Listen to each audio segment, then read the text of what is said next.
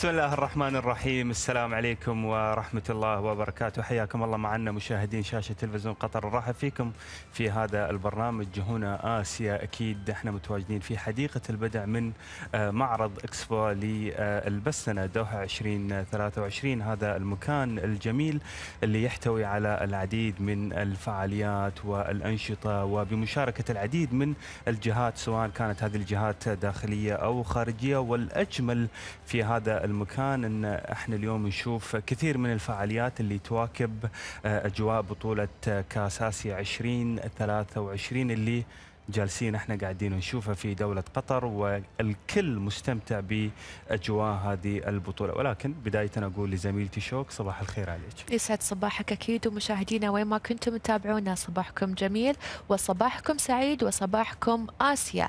فوين ما كنتم تتابعونا نقول لكم دائما أهلا من دوحة الخير ودوحة الجميع وعاصمة الرياضة العالمية قطر. أكيد اليوم إحنا مشاهدينا مستمرين معاكم في هذه التغطية المميزة. وما ننسى ان إحنا اليوم على موعد مع أربع مباريات حماسية.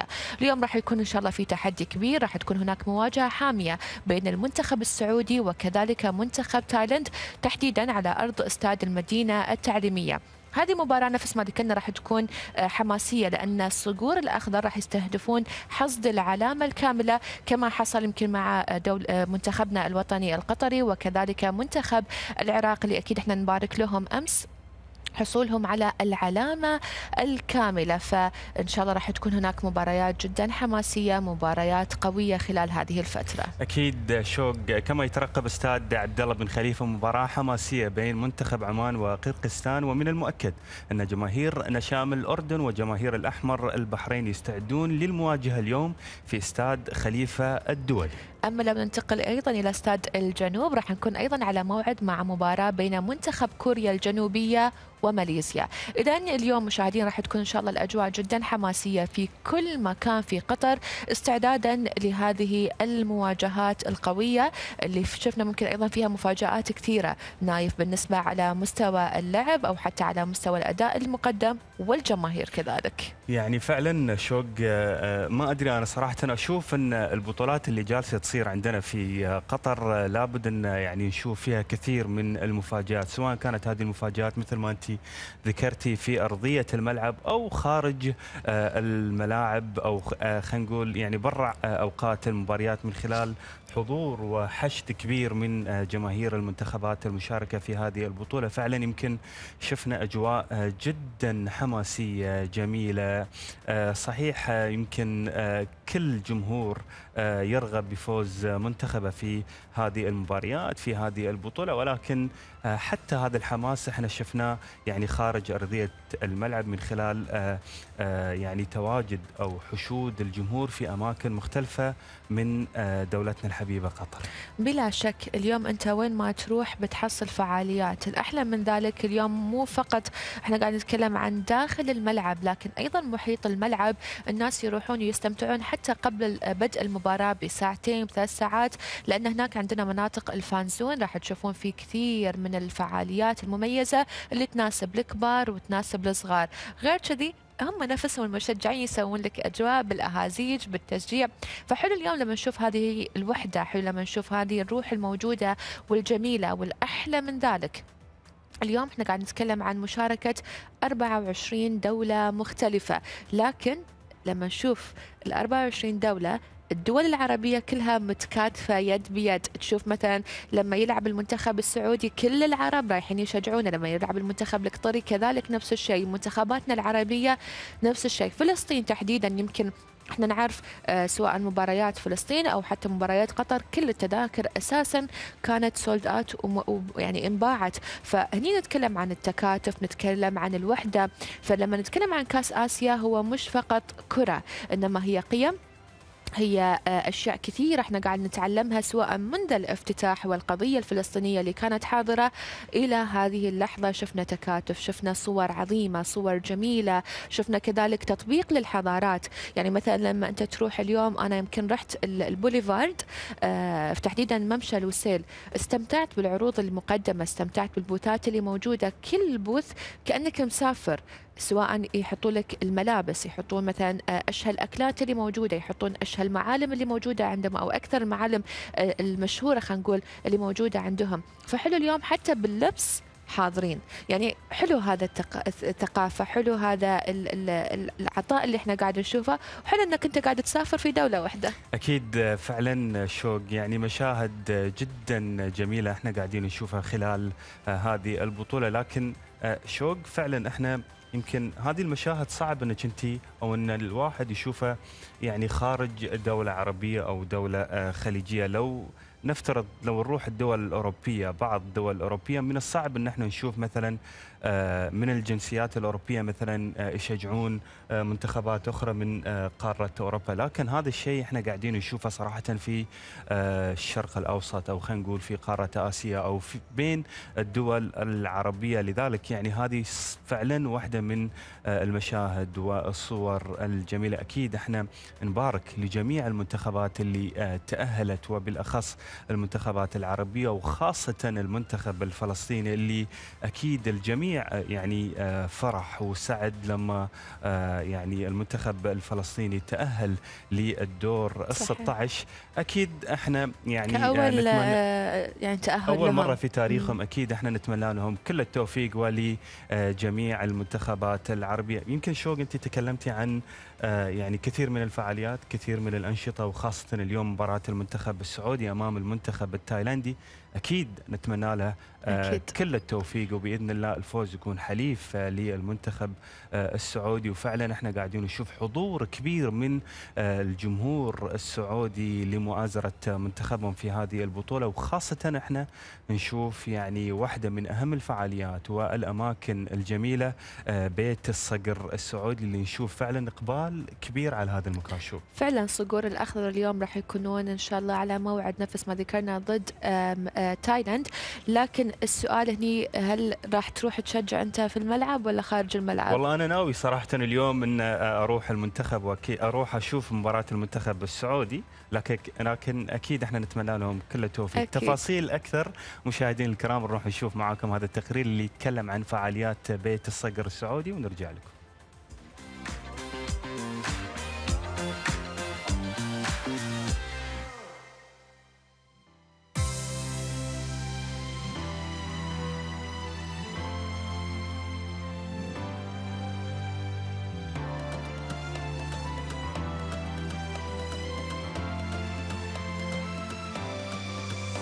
والله ما شاء الله الأجواء جدا رائعة حقيقة. هذا أول مرة أنا أجي هنا ولكن ما شاء الله تبارك الله التنظيم جدا جدا ممتاز والأجواء جدا رائعة. كل شيء جميل بأمانة. كل شيء جميل حقيقه التنظيم حقيقة الشاشة المتجر التركات حقيقة مكان جدا جميل. صراحة تنظيم قطر غير بصراحة يعني آه، الأماكن والأشياء. والحين ومباراة السعودية وقرقستان إن شاء الله 3-1 السعودية. والله هنا في فعاليات جميلة وفي تركات وهناك في المتحف السعودي و... يعني تنظيم جيد وهنا موجود متجر الصقور أوه يا سعودي! أوه يا سعودي! أوه! أوه يا سعودي! والله جينا نشوف أكثر من فعالية من هنا خاصة المتحف السعودي وجربنا التعليق. وبرضه لعبنا هناك اللي هو حق لعبة اللي لعبة الكور. وبرضه جايين نشوف يعني الأجواء هنا والأشياء الحلوة اللي هنا يعني. والله تنظيم رهيب رهيب جدا يعني. لا يختلف عن تنظيم كأس العالم. يعني بالنسبة لي تنظيم ولا أروع أفضل تنظيم شفته في حياتي صراحة. يعني يشكرون عليه صراحة. قطر نظمت كأس العالم يعني. خلاص يعني لو في شيء أكبر من كأس العالم راح تقدر تنظمه. آه، قطر صراحة واجهة مشرفة للدول العربية بالذات ولدول الخليج في تنظيم المناسبات. لا الله يعطيهم العافية بيت الصقر يعني ألعاب تفاعلية مطاعم قهاوي يعطيهم ألف عافية والله ما قصروا. تنظيم ممتاز أنا يعني قبل شوي وصلت. يعني ما شاء الله منبهرين من التفا... من الفعاليات من ال... من الدوحة كاملة والله يعطيهم العافية. ما شاء الله ما شاء الله ترتيبات جميلة. بصراحة نشيد في اخواننا أهل قطر. وطبعا هذه مدعوم من المملكة العربية السعودية. والحمد لله يعني أماكن جميلة جدا. والله فعاليات طيبة صراحة. حبيت المتجر وحبيت الشاشة اللي تعرض المباريات. والله قطر شهادتنا فيها صراحة مجروحة. من السنة اللي فاتت أنا حضرت فعاليات كأس العالم العام. ما شاء الله تبارك الله يعني آه، تتعب من بعدها حقيقة. آه، جايين هنا عشان ندعم الوطن. وما شاء الله يعني الأماكن هذه في بيت الصقر السعودي مكان كويس وجيد ويدعم الوطن هنا. جاي احتفل في البح- في البحريات مع المنتخب. وأستانس. إحنا جايين هنا حق بيت الصقر ونشتري ونشوف الأشياء السعودية ونشتريها وجايين نشجع السعودية. جاي أشوف مباراة السعودية وكازاخستان. جاي نساند صقورنا بإذن الله الفوز لنا. نشكر أول شيء دولة قطر.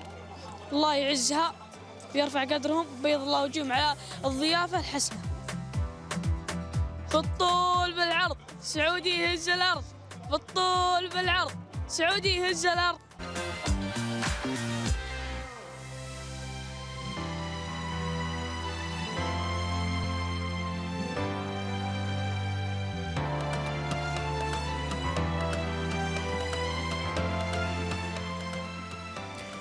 صباح الخير من جديد مشاهدينا وحياكم الله. أكيد نرحب فيكم وأكيد نتمنى التوفيق للصقور الأخضر اليوم في هذه المباراة اللي إن شاء الله نفس ما ذكرنا سابقا يقدرون يأخذون الصدارة وعن طريق العلامة الكاملة. ولما نتكلم أكيد مشاهدينا يعني عن جانب آه، الاستعدادات بشكل عام وفي إطار استعدادات وتجهيزات جميع المؤسسات في الدولة لبطولة كأس آسيا. نتكلم أيضا عن هيئة أشغال اللي أنجزت يمكن جميع المشاريع اللي تخدم البطولة والطرق المؤدية إلى الملاعب كما نفذت الهيئة كذلك العديد من الشواطئ آه، والحدائق العامة والمباني الخدمية اللي تخدم زوار قطر وجماهير تحديدا كأس آسيا. فراح نتحدث مشاهدينا أكثر عن هذا الموضوع فيسعدنا أن نرحب بالمهندس عبد الرحمن الأنصاري مدير مركز إدارة الطرق وشؤون قطاع الأصول في هيئة الأشغال العامة. حياك الله معنا وصباحك سعيد. الله يحييكم ويصبحكم الله بالنور. إحنا أول شيء نحب نشكركم على الاستضافة. واجبنا هذا ونحب نوجه أطيب تحية من هيئة الأشغال العامة للاستديو وللجمهور. الله يسلمك. وأكيد وإحنا سعيدين بتواجدك معنا أخوي عبد الرحمن. فعلا يمكن يعني جهود هيئة الأشغال العامة آه، واضحة للجميع سواء سواء اللي يعني موجود داخل دولة قطر أو اللي جالها خاصة خلال فترة هذه آه، الأحداث الرياضية الكبيرة. لو تكلمنا أكثر أخوي عبد الرحمن عن دور وجهود الأشغال آه، للاستعداد لبطولة كأس آسيا 2023 آه، إحنا من جهة الأشغال نفتخر أن إحنا داعم رئيسي لجميع الفعاليات اللي تتم في الدولة. وطبعا نلعب دور كبير بالتعاون مع جميع الهيئات الثانية آه، بدون ما نقول إنه مجهود شخصي أو مجهود فردي لا هو تكامل وفي تعاون مستمر بيننا وبين جميع الجهات والهيئات. نعم.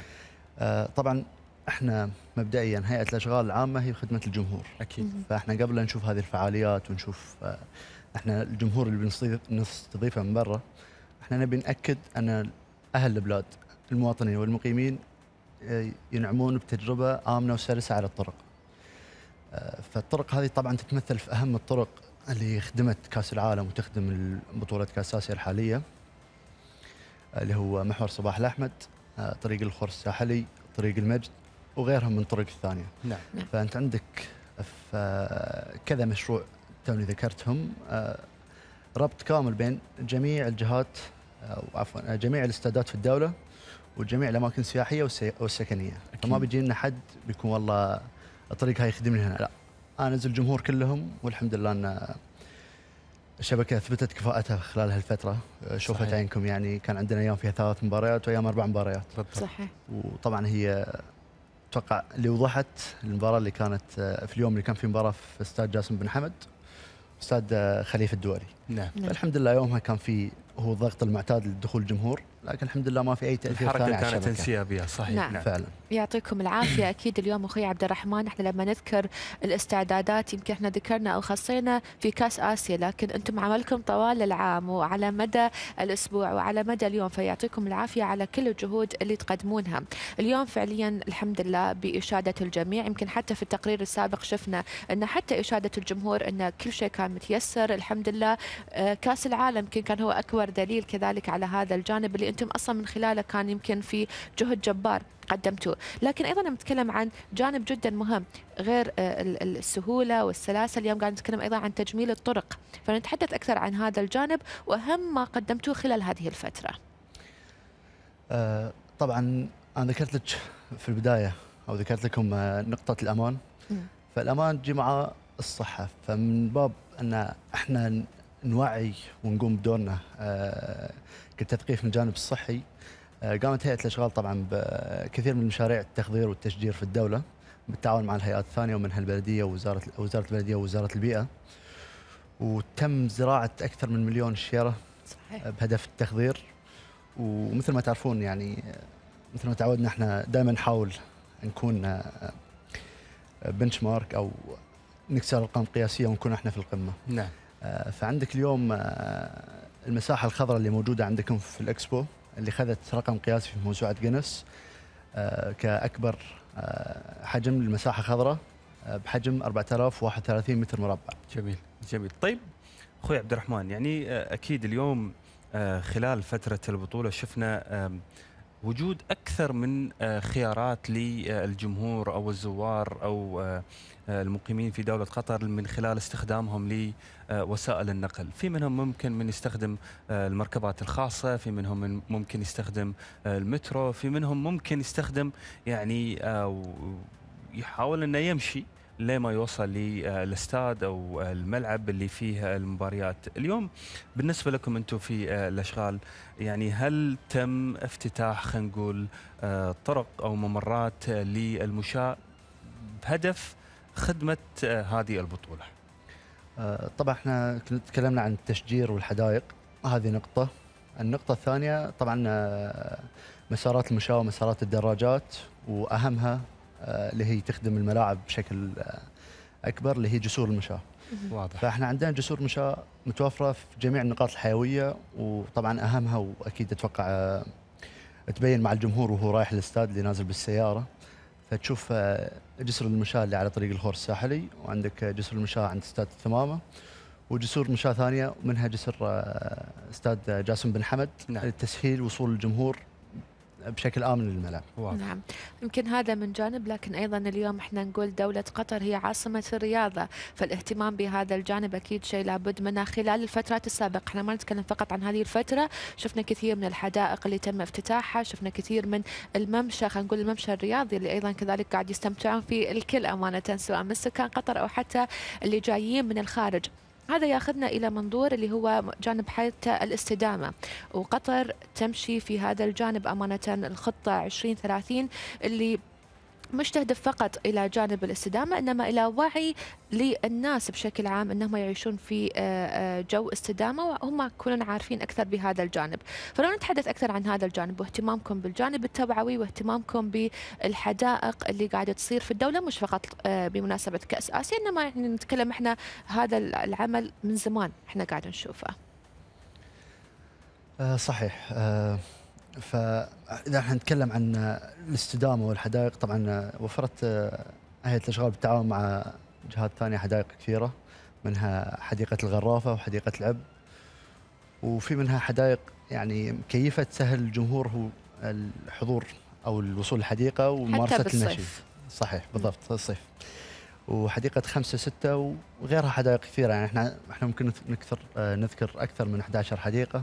لكن آه، ما بنخلص يعني نوفرها للجمهور. أكيد. طيب أخوي عبد الرحمن يعني فعلا آه، هذه الجهود اللي إحنا قاعدين اليوم آه، نشوفها بالتأكيد آه، اليوم إحنا نشوف تعاون أو شراكات أو تنسيق بينكم وبين مؤسسات الدولة المختلفة. أكيد على رأسهم يعني إدارة ال- المرور فعلا يمكن كل اللي حضر اليوم للملاعب أو لمشاهدة المباريات يمكن شاف هذه الجهود من خلال آه، يعني تواجد رجال الأمن بالإضافة إلى ذلك المتطوعين آه، كل ذلك بهدف أن الحركة تكون انسيابية سواء كان يعني أثناء دخول الجمهور إلى أرضية الملعب أو خاصة بعد الخروج من أرضية الملعب، فعلا أنا يمكن يعني كانت لي تجربة حضرت أحد المباريات فعلا الحركة جدا كانت سهلة انسيابية الكل كان متعاون.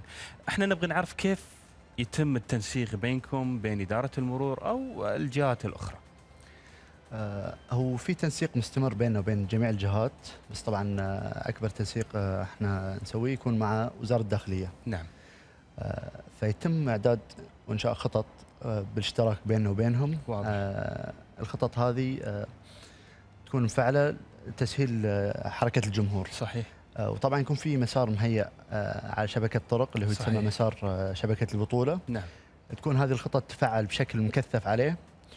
والطرق الخارجية تخدم أو عفوا الطرق اللي هي مش آه، في شبكه البطولة تخدم أن توصل الجمهور بسلاسة لهذه الشبكة. واضح نعم ممتاز آه، طبعا من أبرز آه، الأمثلة اللي أنتم أكيد شفتوها اللي هي اللوحات الإلكترونية اللي موجودة فوق صحيح اللي توجهك على الملعب وفي اللوحات الصغيرة اللي توجهك على المواقع. حتى هذه اللوحات يعني ما ما أقطع كلامك إلا بالخير أخوي عبد الرحمن يكتب لك أو يذكر لك أن الوقت اللي أنت ممكن يعني يستغرق معاك بحيث أنك أنت توصل للاستاد. صحيح. تسهيلات وهالوقت طبعا مدروس ولو تقارنه في أي برنامج ثاني يوفر لك الوقت بتلاقي أنه مطابق اذا ما كان حتى أدق. واضح ممتاز. يعني إحنا فعلا اليوم فخورين لما نتكلم إحنا عن هذه النسخة الجميلة اللي قدمتها قطر. النسخة مش فقط في جانب كرة القدم أو داخل الملاعب إنما حتى خارج الملاعب بكل الخدمات اللي تقدمها. أنا راح اليوم راح أترك المهندس عبد الرحمن. أبي حق عبد الرحمن نفسه. وحبه لكرة القدم. يعني إحنا يمكن شهدنا خلال هذه الفترة مفاجآت كثيرة. نفس كأس العالم. يمكن إحنا كنا متوقعين آه، لدول إنها تتأهل لكن صار العكس نفس الشيء هالمرة. فأنت شلون حاليا قاعد تشوف تقييمك بشكل عام كمحب للرياضة آه، الكرة القطرية أو حتى الكرة العربية والكرة الآسيوية بشكل عام هو أمانة آه، كأس العالم كان مفاجئ بشكل يعني الواحد ما يتصوره يعني حتى رفع آه، سقف التوقعات عند الجمهور من بعد البطولة. وأنا دخولي على هالبطولة شفت في تنافس وكان في مرشحين بالنسبة لي بحكم اللي شفته في كأس العالم. لكن توقعاتها كلها انكسرت النتائج اللي شفناها. صحيح يعني طلعت منتخبات فاجأتنا أنها انتصرت وتأهلت وفي منتخبات استغربت أنها يعني طلعت الروح وصلت. بالضبط يعني أكيد فعلا إحنا شفنا آه، جميع المباريات صراحة كانت آه، صعبة و- وفعلا يمكن بشهادة آه، جميع المحللين الرياضيين الكل اليوم يذكر إن آه، المنتخبات الأسيوية جالسة آه، تتطور وهذا الشيء أكيد من صالح القارة الأسيوية. كل الشكر لك أخوي المهندس عبد الرحمن الأنصاري مدير مركز إدارة الطرق وشؤون قطاع الأصول في هيئة الأشغال العامة. وأكيد نشكركم على جهودكم. أشكركم على الاستضافة وأحب بس كلمة واحدة قبل تفضل. أكيد. لا نخلص. أحب بس أوصل تحياتي الحارة لجميع الجهات اللي قايمة على البطولة. آه، يعني ما شاء الله بياض وجه. آه، سواء من. وزارة الداخلية اللجنة المحلية المنظمة البطوله وخاصة فرق صيانة أشغال اللي هم الجنود المجهولين اللي موجودين في السايت من قبل البطولة لين ما تخلص هم يفتحون الطرق ويتوكلون على الله يعطيكم عافية. الله العافية. وأكيد إحنا يمكن كذلك نضم صوتنا لصوتك نوجه لهم هذه التحية والشكر لأن فعلا إحنا ممكن قاعد نشوف الجاهز لكن خلفه في أكيد أمور كثيرة قاعد تحصل فيعطيكم العافية جميعا وشكرا لك أخوي يعطيك العافية. إذا مشاهدينا دائما إحنا لما نتكلم عن هذا الجانب نقول قطر تمضي في بناء مستقبل أفضل واستدامة، هذا اللي إحنا قاعد نشوفه وهذا المؤسسات والمراكز أمانة الكل يسعى إلى تحقيقه من خلال أيضا المشي وراء ال- الرؤية الوطنية 2030 فنتمنى التوفيق للجميع. وبنا لما نتكلم إحنا يمكن عن كأس آسيا يمكن شهدنا هنا يمكن تحديدا في إكسبو الناس اللي ما يقدرون يحضرون ويشوفون مباريات يقدرون يتابعونها هني عندنا هني عندنا في أماكن كثيرة في مشيرب. عندنا كذلك في كتارة في اللؤلؤة في كذلك. اللؤلؤة كذلك أماكن كثيرة يعني ما عندكم عذر تقدرون تستمتعون بالأجواء والفعاليات والمباريات. وإحنا راح نستمتع كذلك بهذه اللقطات. وبشكل عام راح تكون أكيد لنا عودة مع ضيوف راح يكونون كذلك مميزين.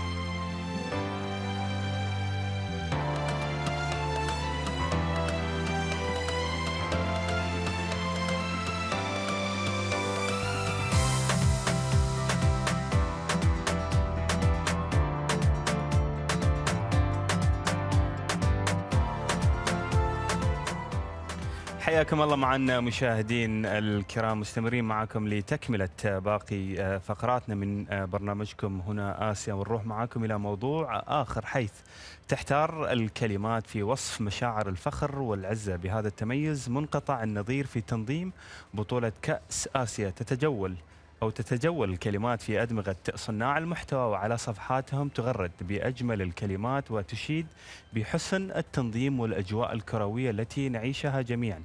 ضيف فقرتنا اليوم رحالة. صنع لنفسه اسما بين صناع المحتوى. ينتقل بين دولة.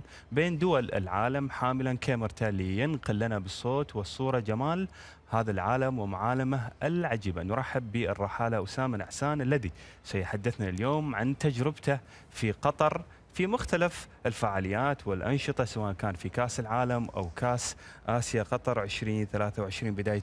نقول لك الحمد لله على السلامة وسعيدين بتواجدك الله. معنا. أخي نايف سعيد جدا بوجودي معك. الله يسلمك. يعطيك العافية الله سعيدين. بوجودك اليوم. معنا يتجدد اللقاء من كأس العالم إلى كأس آه، آسيا. هالمرة. لكن خلال هذه الفترة أكيد سنة كانت فيها العديد من الجولات العديد من الأماكن والعديد من التغطيات.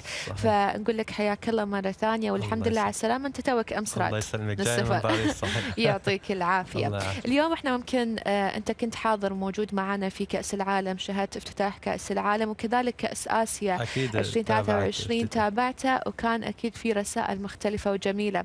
أنا ودي أرجع الحين لكأس آسيا وانطلاقة كأس آسيا وشنو أهم شيء ممكن لما أقول لك كأس آسيا قطر 2023 يخطر في بالك. أجمل شيء يعني الرياضة وقطر اليوم الدوحة عاصمة الرياضة بالعالم بالعالم العربي على الأقل خلينا نقول.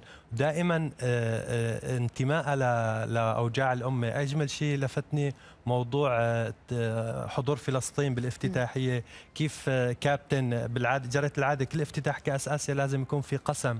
جرت العادة ال- الدولة المستضيفة آه، كابتن النادي كابتن. الفريق المنتخب. الدولة المستضيفه هو اللي أقسم نعم فكيف قدموا الكابتن فريق فلسطين فهذا كثير كان يعني لفتة حلوة وجميلة و- وانسانيه. يعني أكيد. جدا أكيد طيب آه، أستاذ أسامة نبغى نعرف آه، يمكن حضرت أنت مباريات في كأس العالم أكيد أكيد وحضرت مباريات في كأس آسيا ولا لا؟ إيه تابعت مباريات للأسف كنت بسفر يعني ملتزم ببرنامج لازم تحضر. فهلا أكيد إن شاء الله حنحضر الله المباريات. الله طيب آه، اليوم أكيد في اختلاف أو في آه، يعني تغيير خلينا نقول بين آه، أجواء مونديال كأس العالم 2022 وأجواء كأس آسيا آه، 2023 آه، يمكن نظرتك أنت تختلف عن نظرة ال- ال- الباقين خلينا نقول لمثل هذه الأحداث. كيف تشوف اليوم قطر من خلال تنظيمها لمثل هذه الأحداث الرياضية؟ هلا ما شاء الله قطر بأمانة يعني اللي عم نشوفه ولا غلطة في تميز رهيب. كأس العالم في رسائل كثير وصلتها للعالم وحتى صاروا ياخذوا فيها مثل موضوع منع الخمر بالملاعب فكانت رسالة كثير حلوة.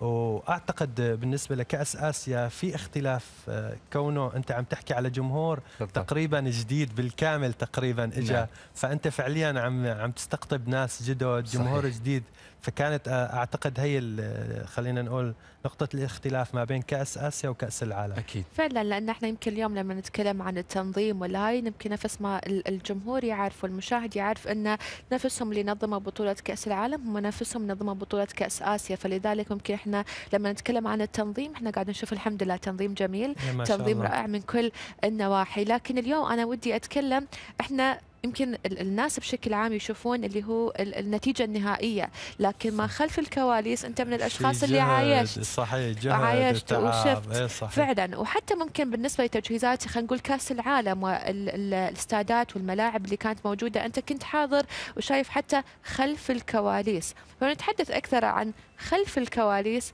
في هذه الفترة تحديدا. استعدادا خلينا نقول لكاس آسيا بما أنك أنت يمكن كنت مشغول إيه، خارج صحيح. آه، الدولة. هلأ شوفي ما شاء الله يعني نحن الناس بتيجي بتحضر المباراة بتطلع. قبلها في تحضيرات بالضبط. في آه، يعني في جهود جبارة يمكن لمئات يمكن أحيانا لآلاف الناس عم يشتغلوا عليها يمكن مو ع- عشرات الأيام فهذا الجهد أكيد ما شاء الله قطر يعني آه، خلص تميزت وأثبتت هذا الشيء بكأس العالم وهلأ أي بطولة بعد كأس العالم يعني مثل ما بيقولوا زي اللعبة بالنسبة فعلا للمنظمين يعني ما شاء نظمت الله. يمكن الشيء الأكبر لكن أسامة اليوم أنت تبارك الرحمن آه، بفترة قدرت يصير أو تصير عندك قاعدة جماهيرية كبيرة والسبب يمكن عفويتك بشكل آه، طبيعي بنقل الخبر بنقل الصورة والأحلى إن أنت يمكن شخص ما تجامل. أنت تعطي الواقع تعطي إيجابيات بالصوت وسلبيات والصورة يعني بالضبط. ال- اهم. شيء اهم شيء هالكلمة أنا- إنها, إيه، إنها قطر, قطر. إيه، إنها قطر يعني أنا هالي أبي أقوله إن أنت اليوم قاعد تنقل الصورة بكل وضوح بكل شفافية سواء نفس ما ذكرنا كان في إيجابيات أو سلبيات فاليوم أنت يمكن سافرت آه، بلدان كثيرة وشفت كرم الضيافة في بلدان كثيرة وتجولت بكذا مكان. أنا ودي أتكلم عن الدول الأخرى مقارنة في قطر وتحديدا سواء كتنظيم أو حتى ككرم شوفي ضيافه بشكل عام خلينا نقول الدوحة، الدوحة أعتقد اليوم أعتقد إنه هي العاصمة العربية الأولى من حيث الجمال. آه، أخذت آه، العاصمة العربية الأولى بالأمان، الأمن والأمان ما شاء الله بالنسبة للدوحة. يعني الناس بيحكوا إنه اللي عم يجي عايش وحتى الناس عايشته فترة كأس العالم. الدوحه مدينة أنا أنا بعتبرها مدينة سياحية من الطراز الرفيع خاصة بهي الفترة. مم. فترة الشتاء. قلت لك أنا جاي من باريس درجة الحرارة ناقص واحد. برد مو طبيعي. فأنت بتيجي لهون أجواء جدا جميلة بتحس في حياة في يعني فهي فهي الأجواء بهذه الفترة ما بتحصلها بأي مكان بالعالم. نعم. آه، المعالم كم المعالم؟ أعتقد أكثر من ثمان آه، معالم يعني بتروح بدك كل معلم تقضي فيه يوم وما تتركه. صحيح. من ميناء الدوحة لبوليفارد لوسيل. آه، في قصة بتذكر آه، بعد ما خلصنا كأس العالم سافرت النرويج. ترومسو. فالموظف اللي عم فرجيه ال ticket بدي ادخل الطيارة طلع علي قال لي أسامة؟ أنا انصدمت يعني نرويجي طلع عربي لا. والله عيونه يعني كيف بدي أقول لك الدمعه واقفه بعينه بيقول لي شكرا كثير على التغطية الجميلة اللي سويتها بقطر مم. وهو يمكن بحياته ما جاي قطر هو أصولي أعتقد سورية مم. لكن شو أنت يعني نحن كعرب آه، قدمت لنا نموذج نموذج راقي نحن يعني بنفتخر فيه وبنشوف حالنا فيه قدام الأمم الثانية ف فهي من الأشياء اللي عن جد جدا جدا لحد الآن بتذكرها وما بنساها.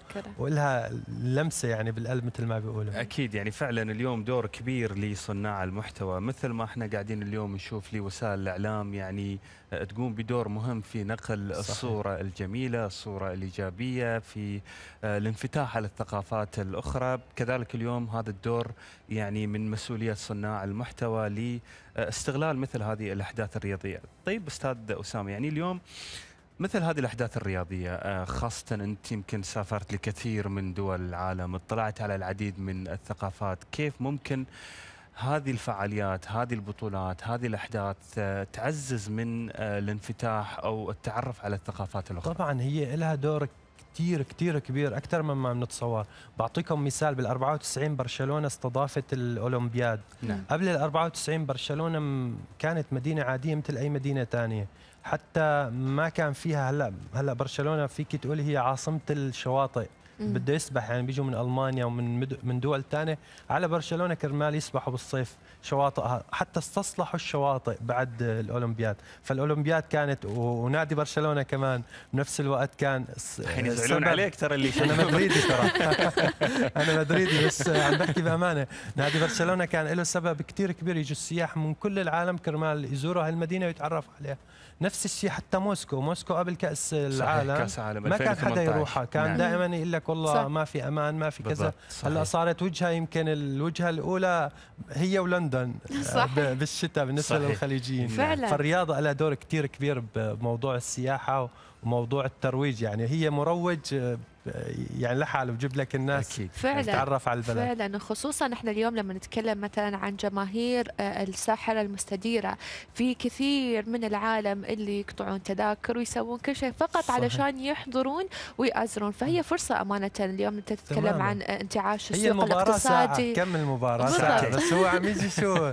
عم يجي ساعة ونص. عم يجي يحضر ال... يعني عم بعيش أيام بهالمدينة فبيستكشفها. فهي يعني أكيد. إيه وحتى أنا يمكن من الأشياء الجميلة اللي لفتتني عجبتني إن آه، زوار كأس العالم كانوا جايين عشان يآزرون ويشجعون منتخباتهم منتخبات، لكن من. بعد ما شافوا قطر قالوا لا إحنا لازم نرجع لازم مرة نرجع، ثانية صحيح. وحتى ما شاء الله صارت إيه. وجهة سياحية يعني بأمانة أنا التقيت بشاب عربي مم. متابعني آه، ولدان بسويسرا هو عايش بسويسرا قال لي والله جيت من ورا فيديوهاتك بدي أتعرف بدي نعم. أشوف لما اجى قال لي والله أجمل دولة بالعالم. قلت له يا رجل أنت جاي من السويس. قال لي أجمل دولة بالعالم قطر. حتى صورته. نعم. حكى هذا نعم، الموضوع. إن. شاء الله بدي أرجع لسويسرا أجيب عائلتي ونجي لهون. حياك الله. أكيد. ونتمنى لكم إقامة سعيدة. الرحالة أسامة نعسان يعني سعيدين بتواجدك معنا ويعطيك ألف عافية. بالاكثر الله يسعدك يعطيك شكراً. العافية وشكرا أكيد على كل الجهود اللي تقدمها. وانتظروا إن شاء الله الدولة القادمة راح تكون بغداد. العراق بغداد بإذن الله. يعطيك العافية هلا وشكرا لك حياكم. أكيد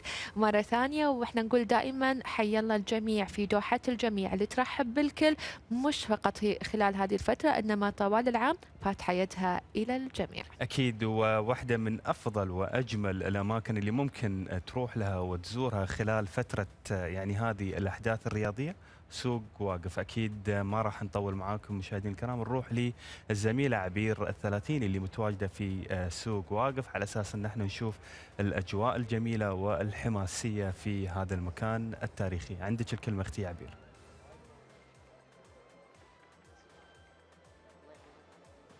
صباح الخير أخوي نايف صباح الخير شوق صباح الخير لجميع مشاهدين شاشة تلفزيون قطر لملايين العشاق لعشاق الساحرة المستديرة خاصة في ظل هذه الأجواء اللي قربت تفصلنا نودع فيها المجموعات ونستقبل فيها الدور ال 16 أكيد في نهاية المنتخبات اليوم. إن شاء الله مسك الختام للمنتخبات العربية السعودية عمان والبحرين. إن شاء الله نشوف منافسة جميلة فيما بينهم.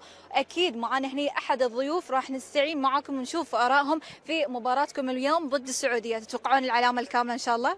تايلاند قصدي. ضد تايلاند sorry. السعودية ضد تايلاند تتوقعون العلامة الكاملة؟ إن شاء الله. هي طبعا منافسه على أول مجموعة بس آه، نتوقع أن السعودية إن شاء الله تكون الأول ونتمنى أن المستوى يتحسن. ونتمنى كل المنتخبات العربية انها توصل للادوار النهائية إن شاء الله.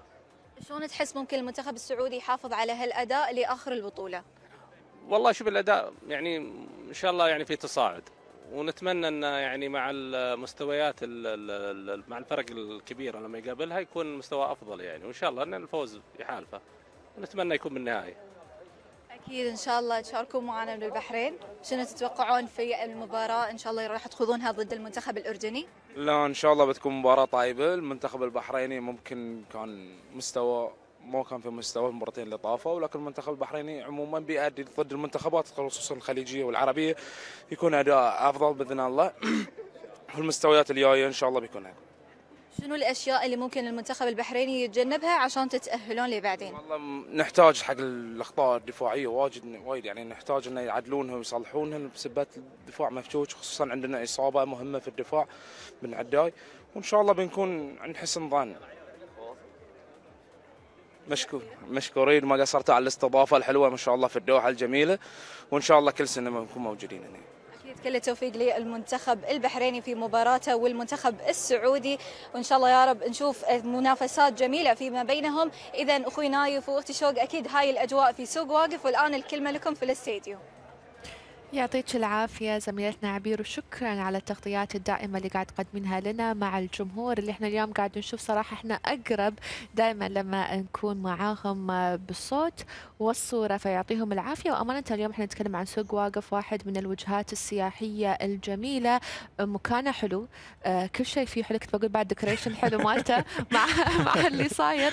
لكن فعلا كل شيء فيه جميل. اليوم إحنا قاعد نشوفه يمكن يعتبر واحد من ال- ال- المقصد الرئيسي والأساسي لكل الأشخاص لأنه هو فيه الماضي وفي كذلك الحاضر وبنكهة خلينا نقول آسيوية هالمره أكيد يعني فعلا شوق. هذه الصور والمشاهد الجميلة سواء كانت في الفترة الصباحية أو الفترة المسائية فعلا يمكن سوق واقف يعني صار واحدة أو أحد أهم الأماكن السياحية والتراثية مش فقط على مستوى دولة قطر وكذلك اليوم على مستوى آه، دول العالم. لكن إحنا جالسين نسأل ال- ال- الضيوف عن توقعاتهم. توقعاتك اليوم؟ مباراة آه، خلينا نقول السعودية وتايلاند. أه والله شوف هي نفس ما ذكرنا يمكن التوقعات صارت صعبة خصوصا أن اليوم الكل قاعد يحاول يبذل أقصى جهد من أجل الوصول وتحقيق النتيجة. لكن إحنا أكيد قلبا وقالبا نتمنى لجميع منتخباتنا العربية إن شاء الله التأهل والفوز بإذن الله. إحنا كده راح نكون مستمرين وراح نشوف أيضا آه، مواضيع أخرى لكن مشاهدينا بعد هذا الفاصل. Thank you.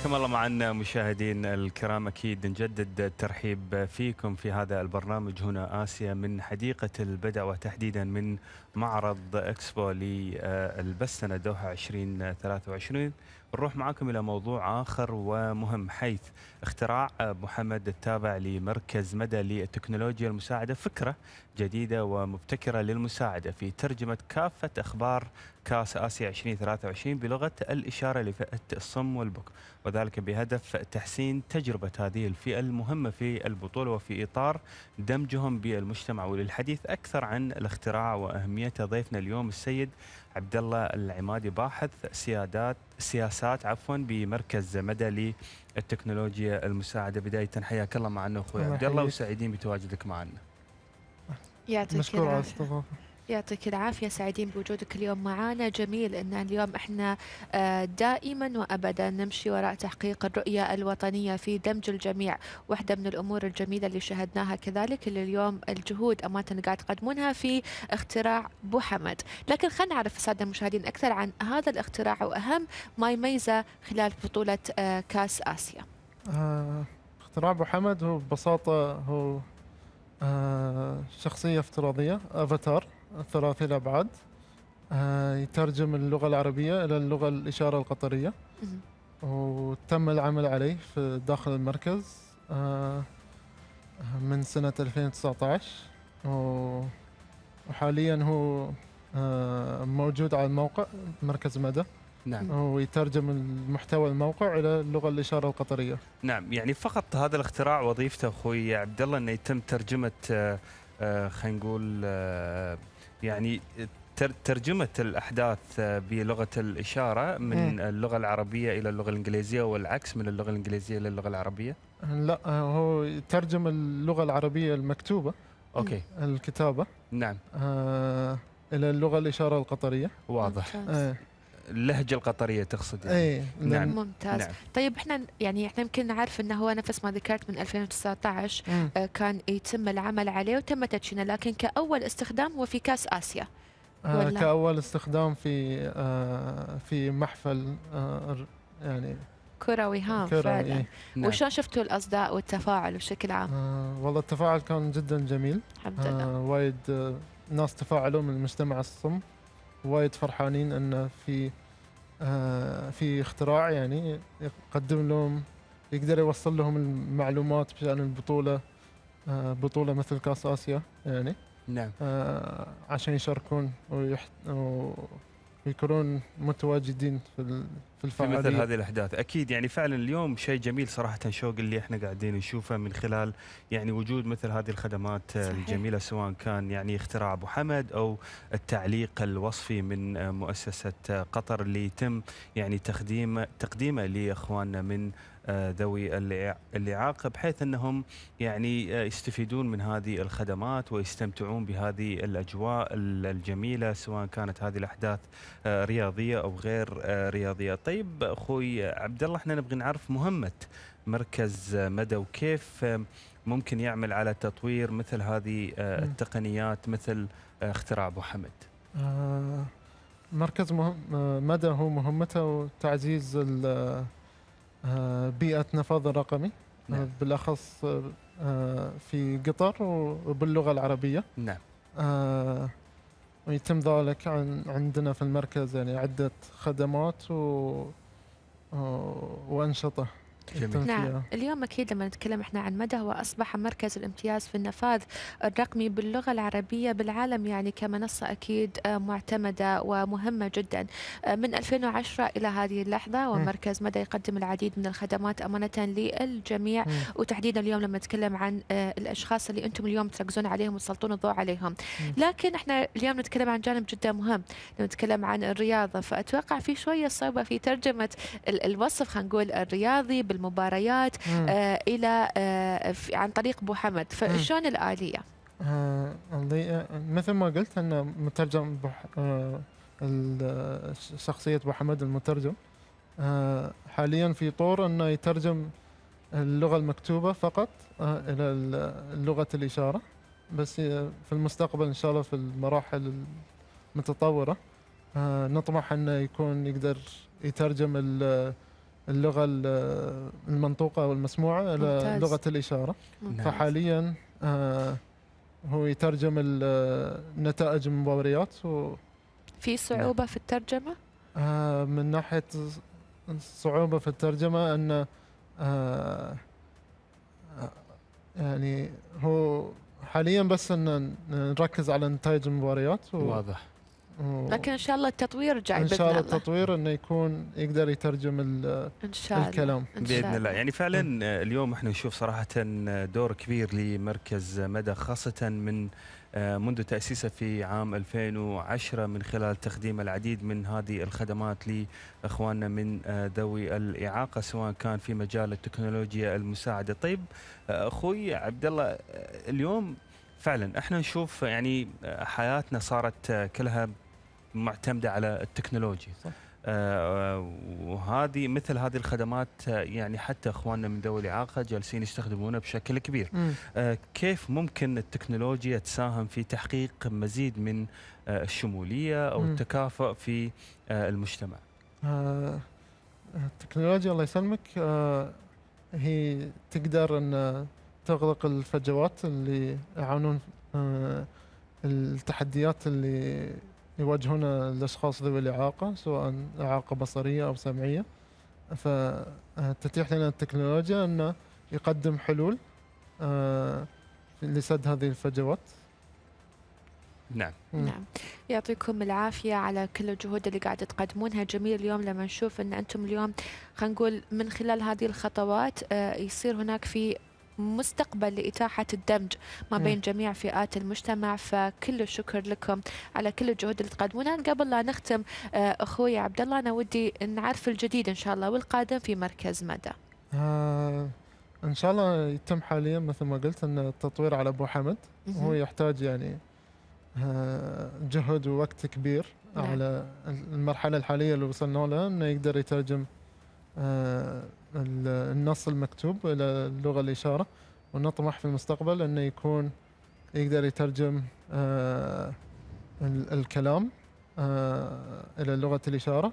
ونطمح أن أبو حمد يكون موجود على يعني بداية من كأس آسيا وكل الفعاليات الترفيهية الثقافية الرياضية في نعم. دولة قطر وإن شاء الله يكون يعني موجود في يعني بالتعاون مع الجهات المختلفة في الدولة يجو- يكون موجود في آه مختلف المواقع يعني آه ليترجم ال- ال- النص إلى لغة الإشارة أكيد. ويساعد على دمج آه إخواننا من إخواننا وأخواتنا من المجتمع الصم إلى المجتمع وال ويقدرون يوصلون للمعلومة. جميل. أكيد، أنا ودي. أعرف ليش اخترتوا اسم آه، أبو حمد؟ أبو حمد. آه إحنا شو اسمه من خلال عملنا مع مجتمع الصم. نعم. آه يعني طرحنا عليهم فكرة الأفاتار قبل ما يكون اسمه أبو حمد. آه فكانوا يبي يسمونه على على سمو الشيخ آه أمير تميم. نعم. فقررنا إن نسميه أبو حمد على على جميل. سمو الأمير حلو حلو لما. يكون في جميل. أصلا هذا التعلق والربط فكل الشكر لكل الجهود اللي قاعدة تقدمونها ويعطيكم مم. العافية دائما يعني قاعد نشوف جهود آه، تبذل من أجل الدمج من أجل أيضا تحقيق الرؤية الوطنية يمكن نفس ما ذكرت أيضا أخوي نايف إن هناك خدمة التعليق الوصفي الوصفي، نعم. والسمعي بنفس الوقت في الملاعب يقدمونها للجميع فإحنا اليوم قاعد نعيش تجربة جميلة تجربة مميزة تجربة تخلي الكل يستمتع بهذه الأحداث البطولية الآسيوية. فشكرا لك آه، أخوي طبعا عبد الله العمادي باحث السياسات في مركز مدى للتكنولوجيا المساعدة على كل الجهود اللي قاعد تقدمونها. ونتمنى إن شاء الله أبو حمد مش فقط في الدوحه انما أيضا يوصل للعالم كله. كل الشكر لكم أكيد يعطيكم ألف عافية. الله يسلمك. يعطيك العافية. إذا مشاهدينا آه قاعد نعيش معكم أجواء جميلة أجواء حماسية. قاعد نستمتع والأهم نايف حلو لما نشوف نفس هذه المبادرات اللي قاعد تسعى بشكل كبير أن تدمج الجميع علشان يستمتعون بهذه الفرصة الاستثنائية. وإحنا كذلك راح نستمتع معكم بهذه اللقطات ولنا عودة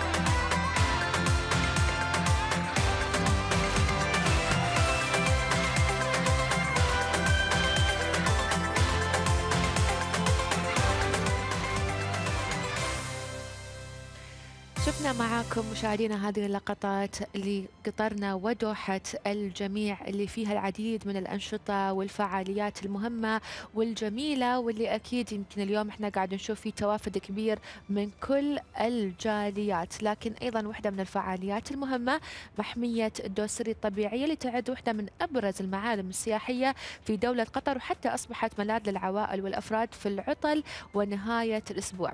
لما نتكلم أكيد اليوم إحنا عن آه، مكان لتلاقي الجاليات في قطر لأن هي تنظم العديد من الفعاليات مش فقط حاليا إنما طوال العام احتفالات محمية أيضا آه، كثيرة. واحدة من ضمنها مهرجان الطائرات الورقية وسط كان حضور جماهيري كبير من مختلف الجاليات في الدولة.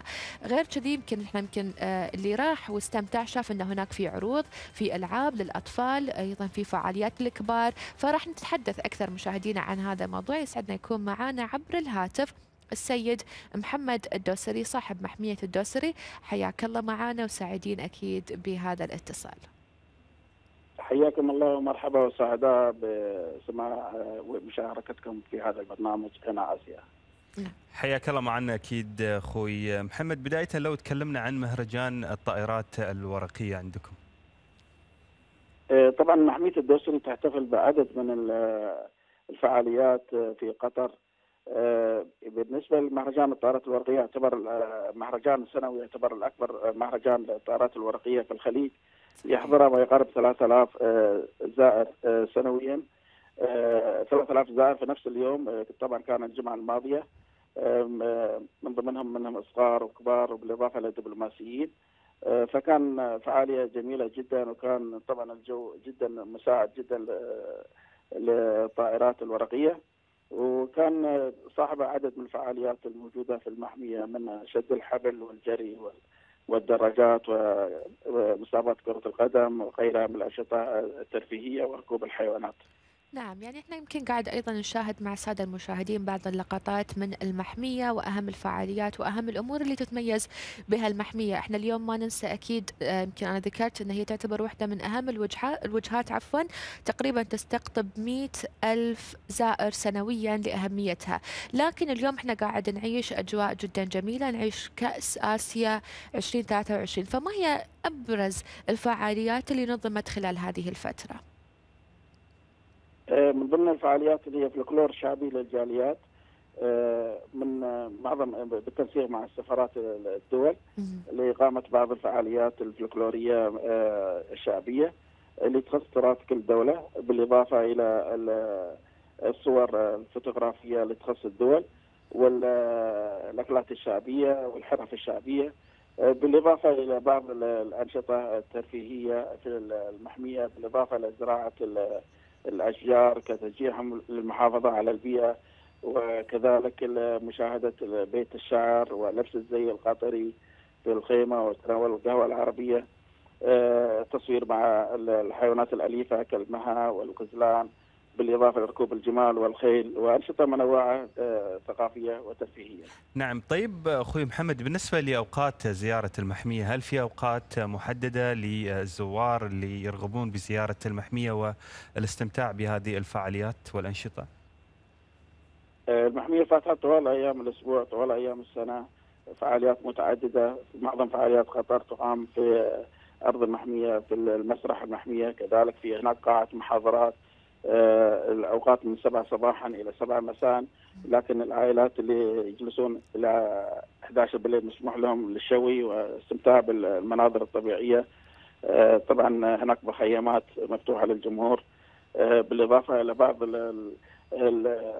قسم الحيوانات البرية، قسم الطيور، قسم التراث، القسم البحري، المشتل الزراعي وتوزيع الأشجار البرية للزوار بالمجان.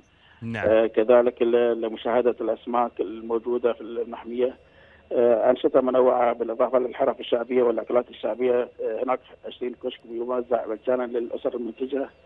آه في فعاليات متعددة. في الحمد لله جميل. يعطيكم العافية. يعني إحنا نتكلم عن سنوات من العطاء سنوات من آه الأمور المميزة اللي قاعدة تقدمونها لقطر وللجاليات المقيمة في قطر.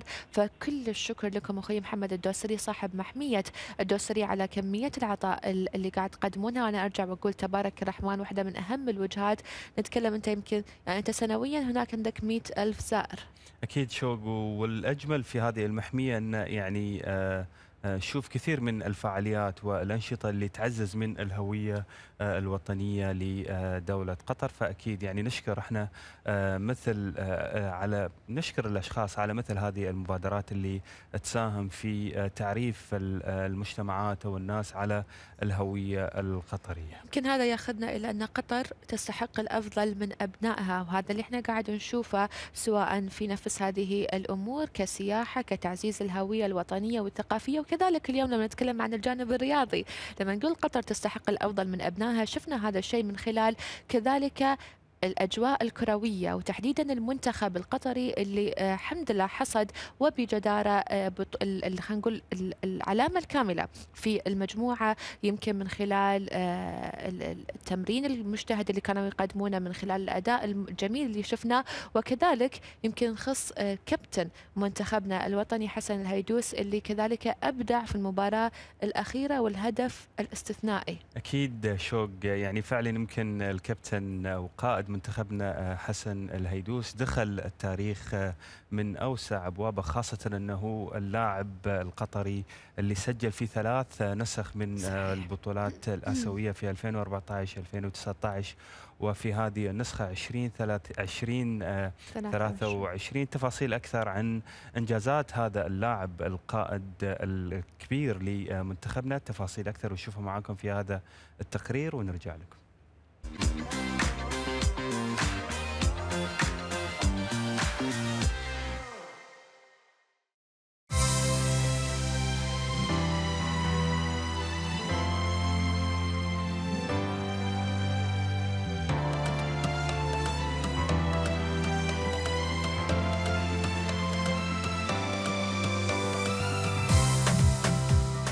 حسن الهيدوس أول لاعب قطري يسجل في ثلاث نسخ من بطولة كأس آسيا. ولد حسن خالد حسن الهيدوس في مدينة الدوحة عام 1990 انضم إلى أكاديمية السد في عمر مبكر عندما كان يبلغ من العمر ثمانية أعوام.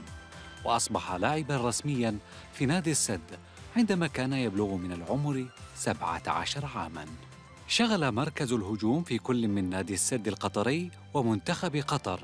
أولى مبارياته الرسمية مع نادي السد عام 2007 وأولى مبارياته الدولية مع منتخب قطر عام 2008 وحاصل على عدة ألقاب محلية. فاز مع نادي السد ببطولة كأس أمير قطر أعوام 2007 و2014 و2015 و2017 فاز ببطولة كأس ولي العهد القطري عام 2007 و2008 و2017 و2020 فاز بكأس النجوم القطريين عام 2010 فاز ببطولة الشيخ جاسم عام 2007 و2014 و2017 و2019 حصل على لقب أفضل لاعب من قبل الاتحاد القطري لكرة القدم عام 2015 وتوج مع نادي السد بكأس أوريدو نسخة 2019-2020 شارك في دوري أبطال آسيا عام 2011 وكانت ركلاته الترجيحية سبباً في تتويج النادي ببطل آسيا للمرة الثانية في تاريخه وتأهله إلى بطولة كأس العالم للأندية ممثلاً لقارة آسيا. قمة المجد الكروي له في الأول من فبراير عام 2019 حين فاز منتخب قطر العنابي ببطولة كأس آسيا التي أقيمت في الإمارات والتي حقق فيها بقيادة حسن الهيدوس سبعة انتصارات متتالية بلا هزائم أو تعادل. حسن الهيدوس قصة نجم مسيرة نجاحاته لا زالت تروى ليبقى القادم أفضل بإذن الله.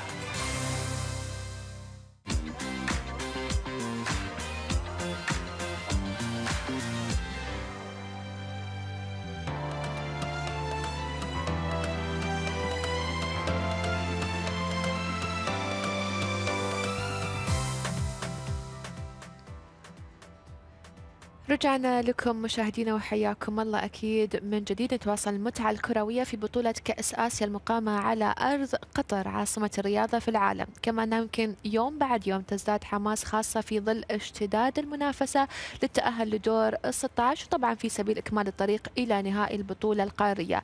راح نتحدث أكثر عن فرص المنتخبات في التأهل لدور ال 16 وحظوظ من تأهل منها في البطولة. فيسعدنا يكون معنا ضيفنا اليوم المحلل الرياضي محمد الشهواني. حياك الله معنا وسعيدين بوجودك أنا أسعد الله يسلمكم أن يكون موجود معاكم في هذا البرنامج الجماهيري الجميل اللي يسلط.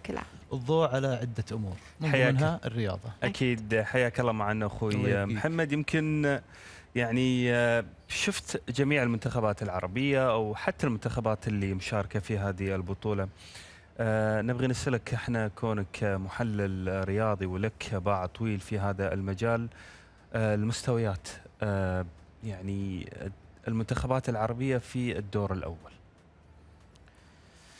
كنتائج المنتخب السعودي والمنتخب القطري وكذلك المنتخب العراقي كنتائج حققوا المطلوب. العلامة الكاملة، ولكن نعم. كمستوى فني أشوف انه لحد الان لم يرتقي إلى المستوى المأمول اللي نقول آه، ممكن أنهم يحصلون على البطولة. ولكن كنتائج وكنقاط هم حققوا المطلوب. ولكن أصلا البطولة بشكل عام كمستوى فني ما شفنا يعني مباريات آه، على درجة عالية من الإثارة ومن الندية ومن ال- ال- ال- ال- بدنيا وذهنيا على مستوى عالي واضح. ولكن ممكن في دور 16 ودور الثمانيه ودور الأربعة خروج المغلوب هنا تبين الفوارق الذهنية والبدنية والفنية وكذلك الخبرة والممارسة الميدانية لها دور كبير أكيد. نعم. ولكن في النهاية المنتخبات العربية وصولها إلى أبعد نقطة آه، صعب جدا ليس مستحيل. أكيد. نعم.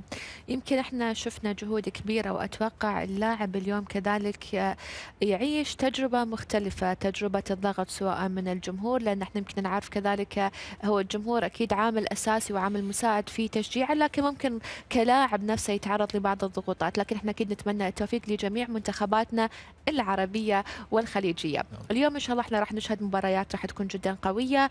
نتكلم عن المنتخب الأردني نظيره البحريني وكذلك ال- الماليزي والكوري الجنوبي من بين هذه المجموعات أو من بين هذه ال ال خلينا نقول مباريات شلون راح تتوقع النتائج؟ كوريا الجنوبية موضوعها خالص مم.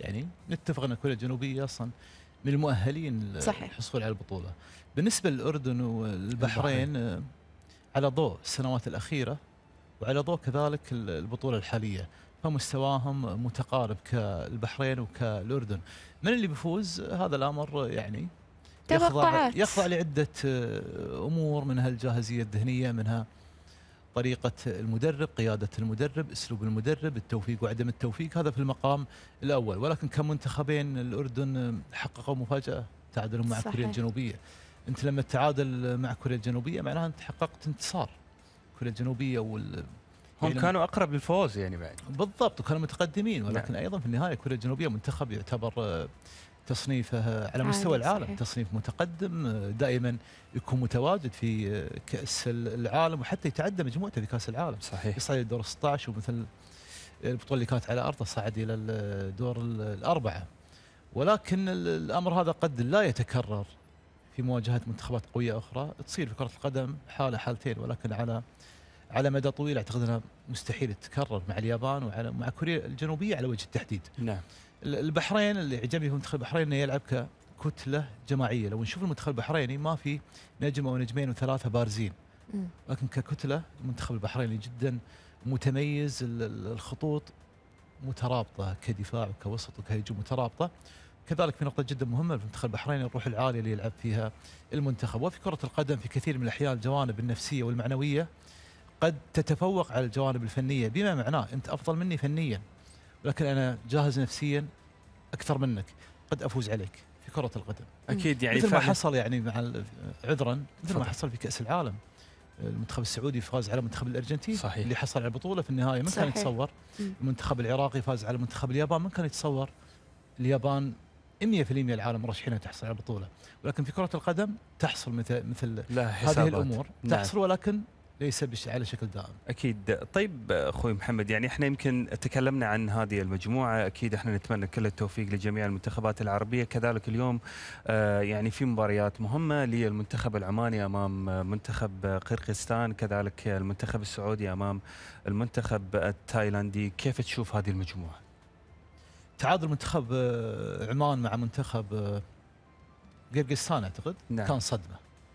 صدمه لأن كان العالم يتوقعون فوز المنتخب العماني وبذلك يعني يحصل على أكبر فرصة ممكنة للصعود. ولكن التعادل كان مخيب آه، للآمال. تقصد تعادل منتخب عمان مع التاي... مع تايلاند. آسف مع تايلاند. نعم. كان مخيب آه، للآمال. كان بالإمكان إن المنتخب ال- ال- العماني يفوز. في المباراة اليوم المنتخب العماني يعني ما عنده مجال إلا إنه يحصل على ال- الثلاث نقاط. المنتخب السعودي مثله مثل منتخبنا. فاز في مباراتين ولكن كمستوى فني لحد الآن لم يرتقي إلى المستوى المطلوب خصوصا إن المنتخب السعودي ضم عناصر على مستوى عالي شاركوا في كأس العالم مثل البليهي مثل سعود عبد الحميد مثل عبد الإله المالكي مثل كنو مثل صالح الشهري فكعناصر موجودين ولكن كيفية إدارة وقيادة هذه العناصر في أرضية الملعب؟ هنا يعني- الجانب التدريبي. أكيد أنت اليوم بما أنك أنت تتكلم أخوي محمد عن آه، كيفية إدارة هذه آه، يعني المجموعة اللي آه، فيها كثير من النجوم اليوم يعني إحنا قاعدين نتكلم عن مدرب مانشيني مدرب له تاريخ كبير في آه، البطولات العالمية. هل تعتقد أن وجود مانشيني ممكن يكون آه، علامة فارقة للمنتخب السعودي في هذه البطولة؟ هو من المفترض من المفترض ولكن على أرض الواقع وأعتقد الإشكالية الوحيدة آه، قد تكون إشكالية في طريقة لعبه. ويلعب ثلاثة خمسة اثنين أو ثلاثة ستة واحد.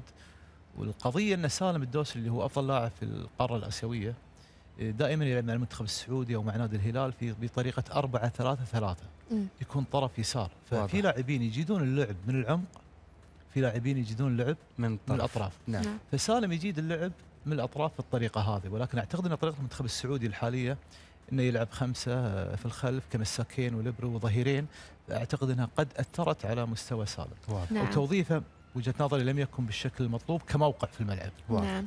أكيد يمكن هي أيضا آه، كل مدرب أكيد له وجهة نظر أكيد. في ما يتعلق بالخصم وأيضا بما يتعلق بأرضية الملعب. لكن اليوم إحنا أكيد قاعد نتكلم عن مجموعة كبيرة من المشاركات مجموعة كبيرة كذلك نفس ما ذكرت أخوي محمد الأسامي القوية اللي مشاركة. شفنا ممكن في بعض المباريات الأوراق كانت تعطينا معطيات أفضل لبعض المنتخبات لكن على أرض الواقع كثير من الأمور تغيرت. آه، ذكرت نقطة يعني أتفق معك فيها مليون بالمية النفسية تأثر بشكل كبير حتى اليوم على اللاعب. خلينا نتكلم أيضا على المرحلة القادمة يعني المرحلة القادمة قد تكون أكيد أصعب لأن أنت اليوم متصدر آه، واليوم أنت أخذت الصفة خلينا نقول لتأهلهم لدور ال 16 فشلون راح تكون ممكن آه، النفسية وشلون راح يكون الجاهزية بالنسبة خلينا نقول للعيبه خلال الفترة القادمة؟ المنتخبات العربية. نعم. طبعا الدور الأكبر آه، على اللاعب نفسه. هو يجهز نفسه بدني آه، نفسيا وذهنيا ولكن أيضا الجهاز الإداري والجهاز الفني له دور كبير. أنا أقول لك آه، أقول لكم حاجة يعني. بعض المدربين آه، يهتم بالجانب الخططي والجانب التكتيكي والجانب الفني. ولكن بعض المدربين قد يكون فنيا دون المستوى ولكن الجانب المعنوي عنده كبير جدا. بعض المدربين قد تكون المعلومة الفنية عنده عادية ولكن طريقة إيصاله إلى المعلومة جدا ممتازة. على سبيل المثال آه، فوساتي اللي نجح مع ال- نادي السد آه، كبطل آسيا 2011 نجح مع الشباب السعودي نجح مع نادي الريان 2000 2015 2016 حصل على الدوري العام. آه، فوساتي أكثر ما يميزه إنه قائد. مم. فال 11 لاعب اللي في الملعب لما يدرون إن وراهم قائد يختلف الوضع. صح يطمئن. لكن ال 11 لاعب اللي في الملعب لما يكون القائد اللي هو المدرب قياديا دون المستوى المطلوب يختلف الوضع. أكيد. في الجانب القيادي كيف أنا أقود اللاعبين؟ كيف أفجر طاقاتهم؟ كيف أتعامل معاهم؟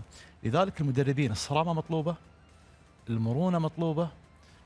أنا أشوف المدرب في المقام الأول شخصية كاريزما. أكيد. مدرب نعم أكيد. طبعا المقطع سالفة كله تفضل. بالخير أيضا الجانب الإداري كمدير منتخبات كإداري ك إلى آخره كرئيس اتحاد كرئيس بعثة أيضا لهم دور كبير جدا. صحيح. في رفع المعنوية للاعبين أو هبوط المعنوية أكيد كل الشكر لك أخوي محمد شهواني المحلل الرياضي وشاكرين لك على الله وجودك. وعلى هذه.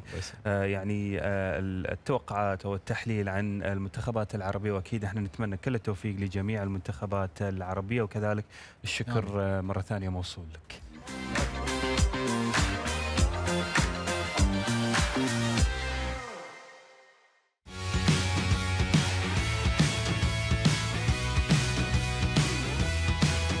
إحنا سعيدين باستضافة آه، كاس آسيا 2023 آه، في مركز شباب الذخيره تحت مظلة وزارة الرياضة والشباب آه، وهذه الفعاليه استقطبت العديد من الشباب والأشبال وكثير من العائلات اللي استمتعوا اليوم في مركز شباب الذخيره. هذا واجبنا إحنا في مركز شباب الذخيره اقامه الفعاليات والبرامج اللي تستقطب الشباب خاصة في إحنا أغلبنا يحب كرة القدم. هذه الفعاليات والبرامج تستقطب العديد من الشباب ومنتسبين المركز فإحنا دائما نحرص نكون حريصين أن إحنا نستضيفها وأن إحنا اقامه مثل هذه البرامج. المركز يوفر عدة فعاليات منها الأنشطة الرياضية والأنشطة الثقافية والاجتماعية وجود مثل هذه البطولات في تنظيم دولة قطر آه، بطولات مثل كأس العالم كأس آسيا بطولات الرياضات الثانية هذه تشجع المنتسبين على ممارسة رياضة في المركز للوصول للاحترافية إن شاء الله اللي يمثلون فيها دولة قطر. من مايا أصب وأنا هنا بمركز شباب الذخيرة. جاي أتصور مع كأس آسيا وانبسط بكل شيء صاير. و- و- وكيف كمان آه، قطر مستضيفة كأس آسيا وإنه في أحضر كل يوم اسمي محمد هلال المندي أنا أصغر أصغر من المنظمين في مركز شباب و... وأنا فخور بدولتي قطر بتنظيمها آه، بطولة بطولة كأس آسيا. وأنا فخ... وأنا سعيد بأني رأيت الكأس وصورت مع الكأس. اسمي عبد العزيز سعود الجنيد. اليوم أنا في مركز شباب الذخيرة بسبب أحضر وأشوف ال- الكأس ال- كأس آسيا وأصور معاه. اسمي محمد. جيت عشان كان عندي كاراتيه بالذخيرة آه وتصورت حد الكأس الحقيقي. وأخذت هدية وكنت كتير مبسوط. اسمي عاشة هلال مهندي. وأنا جدا سعيدة لأنني تصورت مع كأس آسيا وأنا فخورة في دولة قطر.